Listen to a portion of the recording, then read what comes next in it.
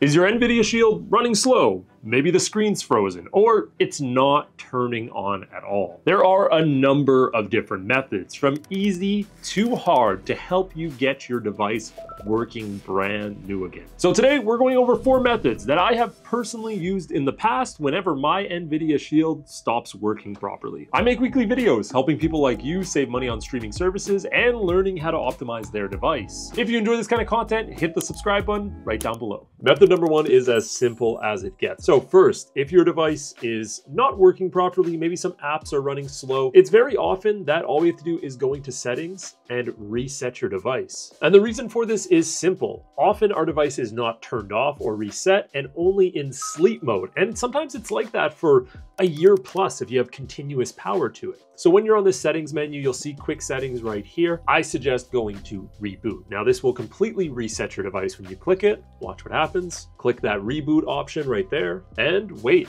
And just like that, you're gonna see it start to boot up again. This is a lot like resetting your PC or your laptop. It turns off, then it turns back on again. And when it goes on the home menu, I suggest letting it sit for two minutes before using it and just check to see if it's working. If it's not, Move to step number two. Performing a power cycle should be the second step if your NVIDIA Shield is not working properly. This requires the device to be turned off and disconnected directly from its power source. Often when your NVIDIA Shield is turned off, it's actually only in sleep mode. If your device is still responsive to your remote and it's not completely frozen, use the remote to make sure it is turned off. Or if your remote isn't working and you have the NVIDIA Shield TV app connected, you can also use that to turn it off. Now, if it's completely frozen, your only option might be to completely unplug it from its power source. Although I never suggest doing that without turning it off first, because that can cause some issues with your device. Now, you wanna leave it unplugged for around five minutes, and there's a simple reason for that. That extra time will allow the capacitors to completely discharge, as sometimes they may have some remaining power left. Once that time is up, plug it back in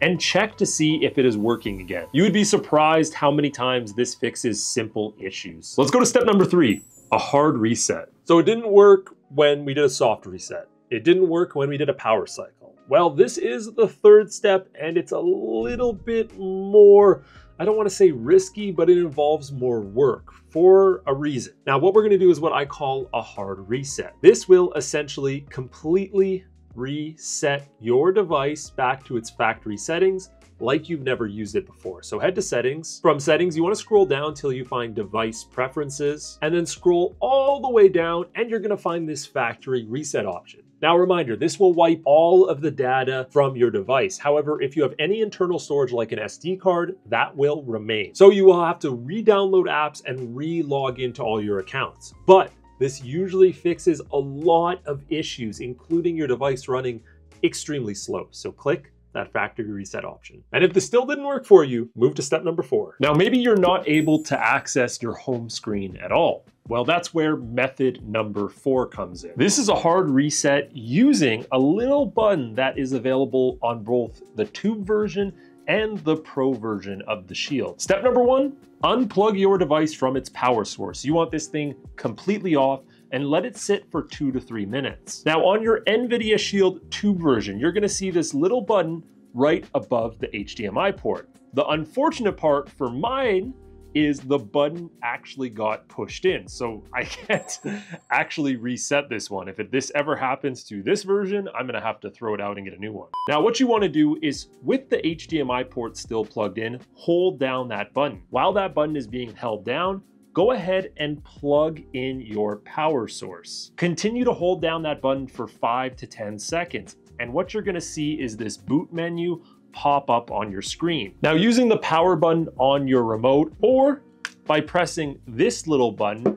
click it until it moves down to factory data reset. Now once you reach that option, hold down the power button or that button and that will start the reset process. Now, this is the same thing as going into your menu and doing the factory data reset. It wipes everything out. And in most cases, this is going to fix 99% of issues with your device. But if that still isn't working, move to method five. I always try to leave the options that cost money to last. And that's what I've done here because there might be a few parts of your NVIDIA Shield that are just broken. For instance, if your device is not powering on at all, it could just be your power cord. Or you could have a faulty HDMI. Simple solution is if you have another HDMI and another power cord at home that fit your NVIDIA Shield, it's a pretty common one. In fact, even this big Tribit speaker I have uses the same sort of power cord as the NVIDIA Shield. In that case, swap it out and see if it powers on and connects. If you don't happen to have it, I have included the links down below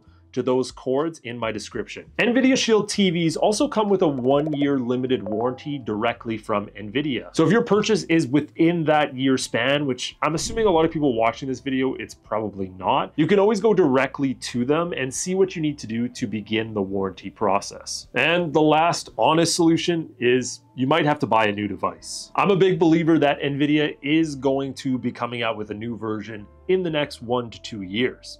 Now, when that happens, I'm not 100% sure. And if that's the case, I suggest maybe not buying a new Shield. Instead, maybe you can get an affordable ONN box or just a Fire Stick. Something cheap that you can just put on another TV when the new version comes out. Thank you guys for watching. If this video helped you out, hit that subscribe button right down below. I'll see you guys in the next one.